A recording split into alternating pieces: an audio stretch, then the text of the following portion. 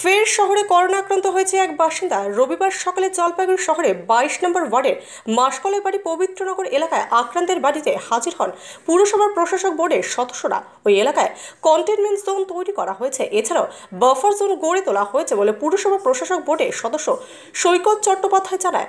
এলাকার বিদায়ী কাউন্সিলর পিনাকি সেনগুপ্ত পুরসভা প্রশাসক বোর্ডের সদস্য সন্দীপ মাহাতো সহ অন্যান্যরা উপস্থিত ছিলেন। শহরে করোনা আক্রান্ত বাড়াতে বলে দাবি করেছে পুরসভার উদ্বেগ ছড়িয়েছে শহর জুড়েই।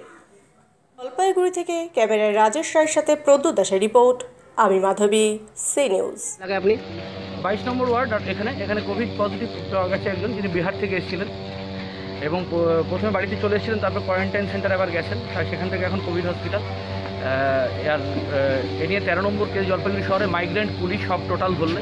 তাই আজকে আমরা এটাকে পুরো কন্টেনমেন্ট জোন করে দিলাম ওর বাড়িটা গলিটা বাফার জোন আর এখানে হচ্ছে আপনার স্যানিটাইজ করে দেওয়া হলো। কি বলবেন এত মানুষকে কি বলবেন? সজাগ থাকুন সজাগ থাকুন করোনা নিয়ে খেলবেন না। তার কারণে আমি অনেককে দেখলাম যে মাস্ক পরছেন না গ্লাস ব্যবহার করছেন না গ্লাস ব্যবহার করাটাও জরুরি না মাস্কটা পড়া খুব জরুরি। থ্যাংক ইউ হ্যাঁ। উনি আত্মীয়র বাড়িতে বিহারে গেছিলেন এই লকডাউন শুরু হওয়ার আগে। তারপরে ফিরে আসার পরের থেকেই ইঞ্জিনিয়ারিং কলেজের কোয়ারেন্টাইন সেন্টারে ছিলেন। আজকে আমরা জানতে পেরেছি যে ওনার পজিটিভ কেস আছে। তো ওই জায়গাটায় আমাদের নিয়ম মাফিক যে ব্যবস্থাগুলি গ্রহণ করা দরকার, সেই গ্রহণ করা হলো। পরিবারের এবং আশেপাশের যারা আছেন, তাদেরকে বলব, আতঙ্কিত হওয়ার কিছু নেই। এটা সেরে যায়। বেশিরভাগ মানুষই সেরে যাচ্ছেন।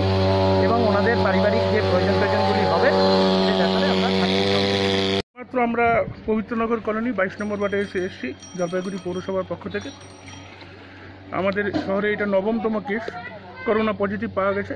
আমরা পৌরসভা থেকে এসে এখানে আমাদের আমাদের সঙ্গে প্রশাসক মণ্ডলীর সদস্য নিপু শাহ সৈকত চ্যাটার্জি রয়েছে আমাদের প্রাক্তন কাউন্সিলর পিনাকি সেনগুপ্ত রয়েছেন।